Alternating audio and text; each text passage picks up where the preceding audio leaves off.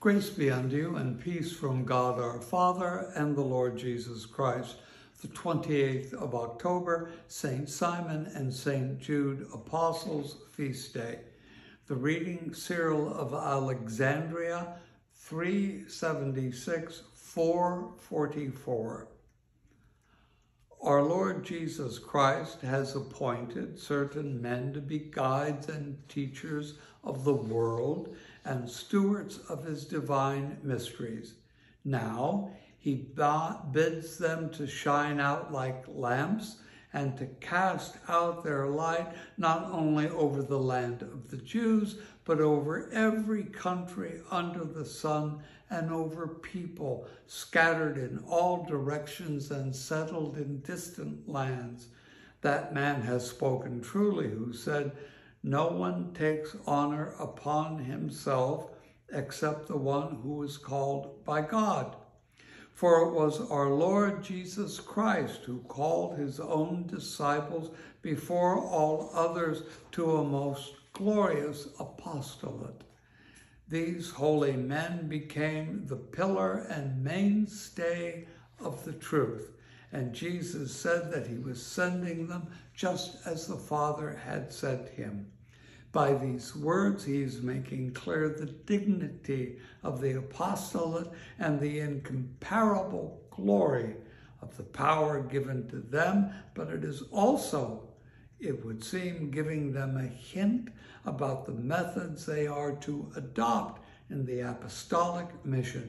For if Christ thought it necessary to send out his intimate disciples in this fashion, just as the Father had sent him, then surely it was necessary that they whose mission was to be patterned on that of Jesus should see exactly why the Father had sent the Son. And so Christ interpreted the character of his mission to us in a variety of ways.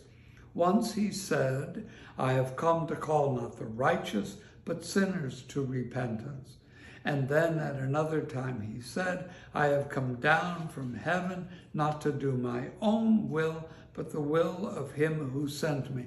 For God sent his Son into the world not to condemn the world, but that the world might be saved through him.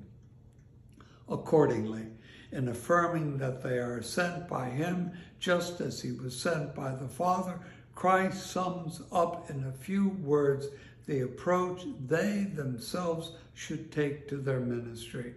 From what he said, they would gather that it was their vocation to call sinners to repentance to heal those who were sick, whether in body or spirit, to sink, to seek in all their dealings, never to do their own will, but the will of him who sent them, as far as possible save the world by their teaching. Surely it is in all these respects that we find his holy disciples striving to excel. To ascertain this is no great labor. A single reading of the Acts of the Apostle or of St. Paul's writings is enough. The prayer from 1982 Lutheran worship. O Almighty God, whose church is built on the foundation of the apostles and prophets, Jesus Christ himself being the chief cornerstone, grant us to be joined together in unity of spirit by their doctrine, that we might be made a holy temple acceptable in your sight. Through Jesus Christ, your Son, our Lord, who lives and reigns with you in the Holy Spirit, one God, now and forever. Amen.